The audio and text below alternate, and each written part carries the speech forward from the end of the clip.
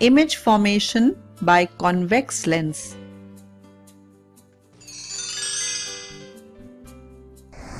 There are six possibilities of position of object in the case of convex lens. Object at infinity. Object beyond center of curvature C. Object at center of curvature C.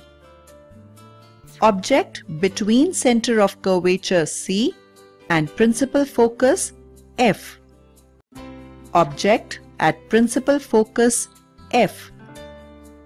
Object between principal focus F and optical center O.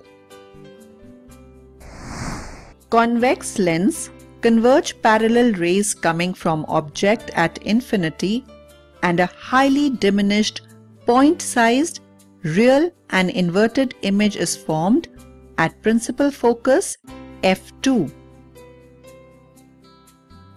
A diminished real and inverted image is formed between principal focus f2 and center of curvature c2 at the opposite side when an object is placed beyond c1 of a convex lens.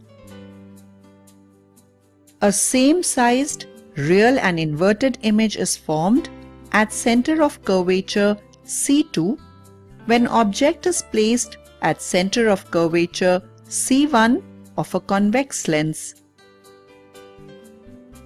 An enlarged real and inverted image is formed beyond center of curvature C2 when an object is placed between center of curvature C1 and principal focus f1 of a convex lens.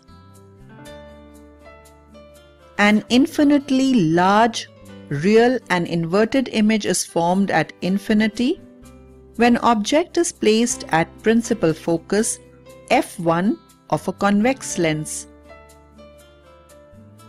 A virtual, erect and enlarged image is formed at the same side of lens when an object is placed between principal focus f1 and optical center O of a convex lens.